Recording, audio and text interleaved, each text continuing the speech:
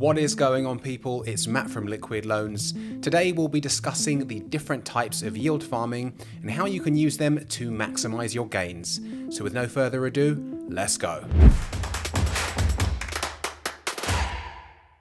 Yield farming is an umbrella term used to describe all the ways to earn more crypto from existing crypto. The three most popular yield farming methods are staking, lending, and liquidity providing. So in this one, we'll dive a bit deeper on each method. So let's get the party started with staking. Staking offers DeFi users several different ways to earn some tasty passive yield.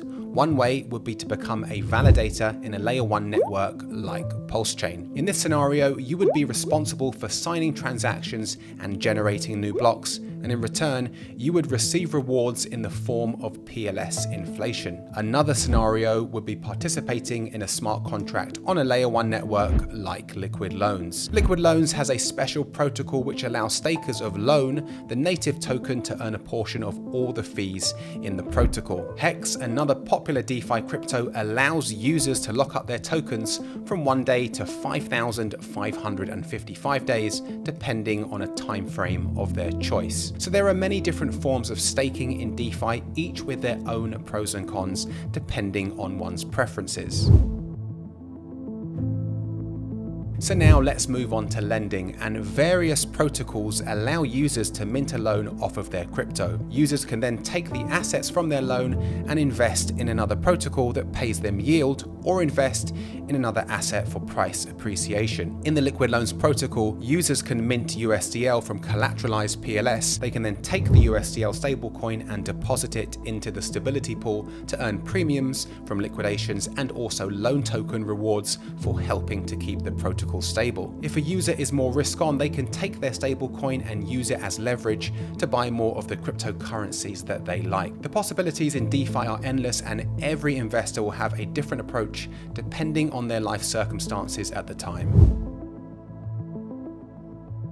And finally, let's take a look at liquidity providing. Liquidity providing is when a user adds two tokens to a liquidity pool on a decentralized exchange, or DEX for short, in order to facilitate easy trading between the two. As a reward, LPs are typically given a portion of the fees from the DEX. LPs can make a significant amount of yield for their services, although it carries an added risk, as investors can experience impermanent loss if the price moves out of their chosen range.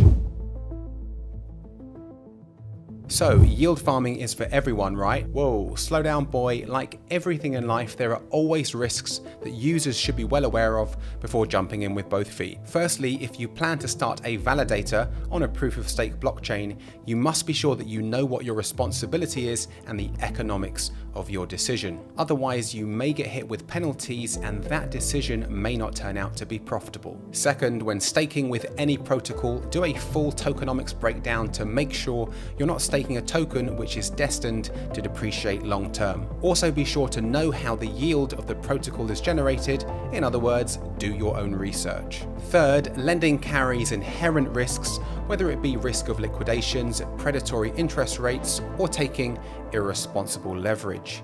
To be uber safe, make sure you take a highly over collateralized loan with no interest rates and a timeless repayment schedule, if only there was a protocol on Pulse Chain that offered that. Wink, wink. And finally, when it comes to being an LP, familiarize yourself with impermanent loss. Although liquidity providers can earn high returns for their services, sometimes it would have been more profitable just to hold their tokens in the first place.